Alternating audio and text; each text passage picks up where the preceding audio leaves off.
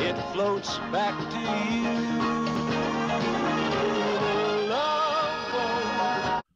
Well, we're not going to be talking about that. I'll tell you that now. And just stop playing that. Oh, roll intro. Welcome to another episode of It Could Have Been a Classic.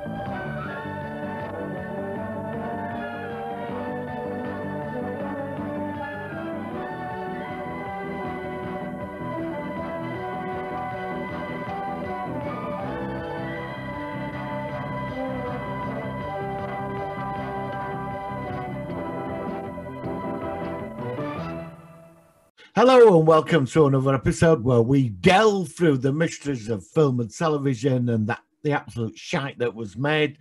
And somewhere we dig into it and think, has it got any potential? And could it have had the potential of being a classic?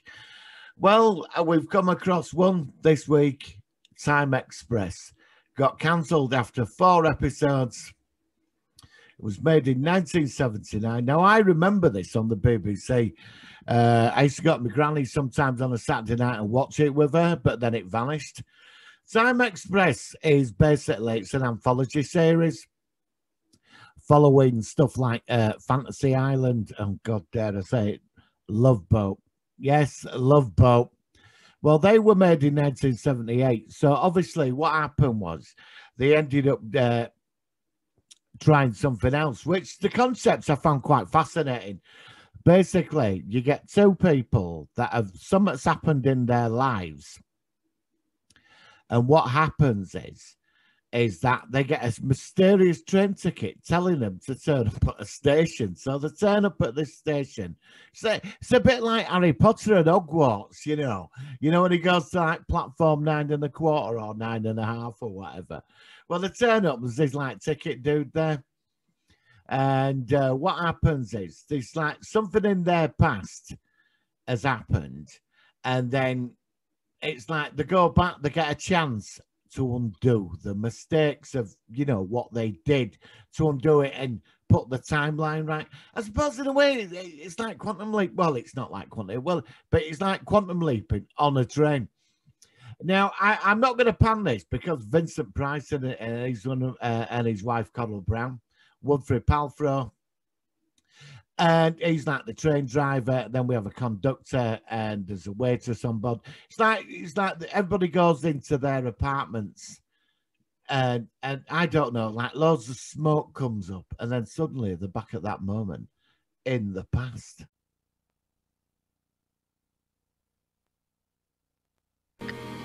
Am I gonna die? Two people with an urgent need to return to the past.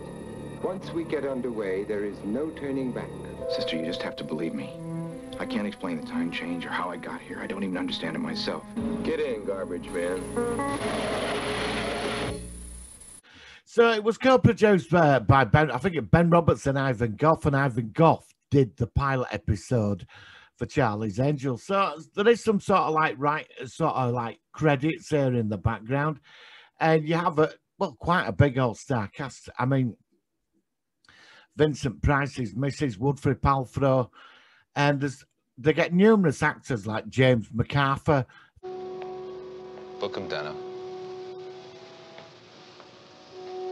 Like, you know, James MacArthur of uh, Hawaii Five-O fame. I think he'd left the series and started moving around the networks, you know, and TV programs and that with his career. And he ended up on this. Now, there is some dark overtones to this series. And um,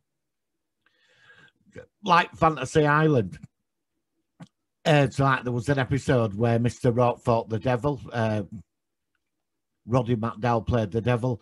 And it's I'm not saying this is in this, but these people they go back and obviously undo the things that fucked up their lives or their mistakes, and they get another chance. Now, now there is little scenes with the engineer who goes on about this train crash hundred years ago, and he don't like the the time train they're on. He wants he says we have the power to go back and stop that train crash, and the conductor says, you know, we're not allowed to do that. And Vincent Price and, and, and his missus, they're always they they're, they're always drinking champagne and having a waltz in the like luxury car. And they've got a file on all the uh, people that come on the train. You know, they give them this other chance. But there's mention of the uh, the manager of the line. So is that God or is it some entity or not? Are these people dead? Are they? Is it their mission just to go through time and eternity, undoing, getting people to undo stuff? And it comes up in all four episodes, especially with the train driver. It keeps going. We have the power to stop this train accident. It's like, are they are they cursed to do this for eternity? And I found that quite fascinating about this series. You know that are they angels, are they ghosts, or are, are they something else? But there's the manager of the line, the person that runs this, and he's referred to. So obviously, it's some high up entity. It, it's where these people put things right.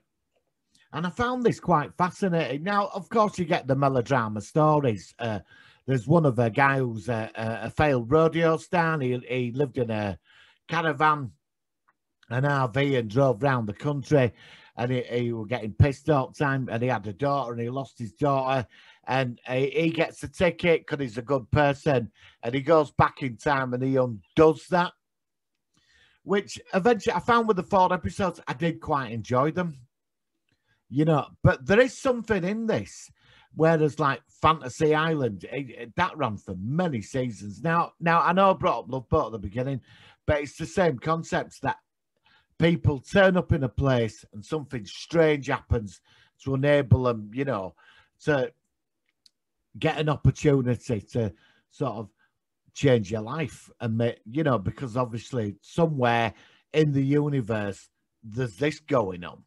Do you know what I mean?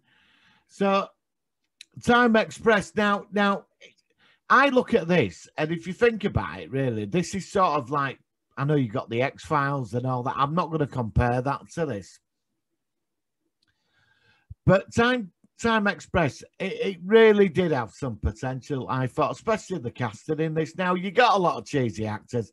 And uh, you remember back in the 70s, we had the the whole cheesy posing and the name comes up. We don't get that as much now, but we got a lot of this back then. That's why I love the old retro television now, does Time Express get through to being a classic? Now, this is the difficult one. It ran for four episodes, and like I said, with the engineer, there's there's something in here.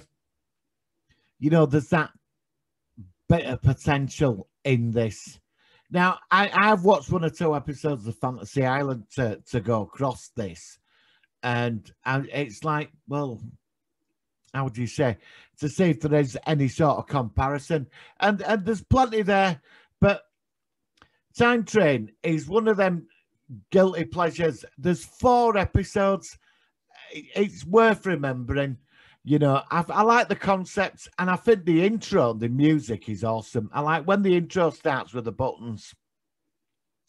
You know, I, I it really grabs my attention. But this series, it got scrapped, it got panned, and it went, you know, it went there. So you're going to ask, is this series a classic? Uh, no. All right, you got Vincent Price in it, one of the greatest horror actors of the time, a legend. Now, I've got to be careful how I go about this. Now, Time Express, even though it's four episodes, has a lot of potential, but also it's not going to go down the toilet. Now, the TV networks shoved it down the toilet, but Aaron could have been a classic. I think we're going to put this in a bit of a neutral position because it, even like four episodes, you can see the potential of absolutely nothing in something of why this got cancelled. Now, could this be brought back today? I I think it'd be very difficult if they did. They brought back Fantasy Island, didn't they? And it never worked. You know, we it what uh, uh, Malcolm McDowell. I I didn't really catch it. I'd I've seen one episode on YouTube and I switched it off. I think some things definitely deserve to stay in the path, and I know that we've got the could have been the classic sort of room where stuff gets through, and then we have the toilet of eternity where it goes down. But I think we should have the shelf, the television shelf. I think we should have this, and I'm going to put Time Express in between going down the toilet and in the middle of could have been a classic into the room. So I'm good. Time Time Express is the first one to go on the television shelf. Uh, maybe I'll come back to this and, and, and see if there is any more. And it's, I admit, Vincent Price is one of the reasons why I've not let this down the toilet. But there's things in this, the introduction, uh, the music. I love the music to this, and and like look at the intro at the back. I love all that, and and and the tra- the crazy train driving through limbo. You just can't beat it, you know. And so you're on the TV shelf. You know, that's where you're going this week. So that's, uh, you know, I've covered Time Express, very insignificant. Now, if you want to tune into this, it is on YouTube, all four episodes. Give it a go, guys. It's harmless, simple fun, but I enjoyed it for what it is. And it's also, it's one of them timeless, like, gems, isn't it? You know, they, they tried doing something and don't forget, behind every cancelled TV series, there is a story. This cost this will cost several million dollars to make at the time. Each episode, production, the writers, you know. I mean, I'm, don't get me started on Manimal with a parrot in the cage undercover. Let's, you know, that's when you just cross over the line, you know.